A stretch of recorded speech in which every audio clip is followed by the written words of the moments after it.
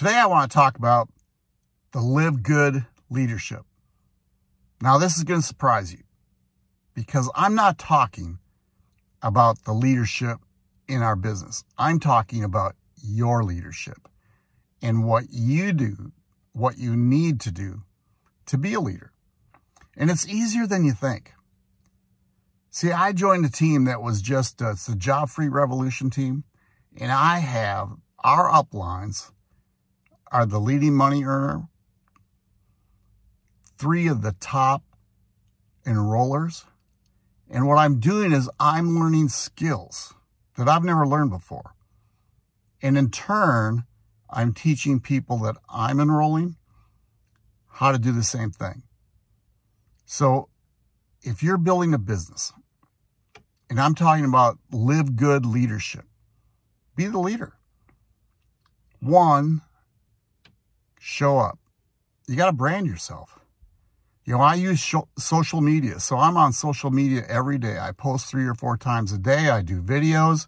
I talk to people, but I show up.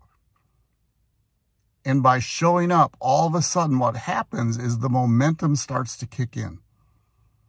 And people have been watching all of a sudden want to become involved because they know you are a leader in the business. So LiveGood leadership. That's you. Show up. Go to work every day. Set a goal of how many people you're going to have look at that LiveGood video. That's all it is. All I do is share a video. All I do is share a video and follow up. Ask if they've seen it. What do they like best? How can I help them? What would keep them from getting started? When can I expect them to get started? I just ask questions. And guess what? Does everybody say yes? No. You know, I started doing this online business and followed a guy by the name of Ray Higdon, and he went for 20 no's a day. And I think what he was doing, he was marketing at that time a travel business, and it turned his life around.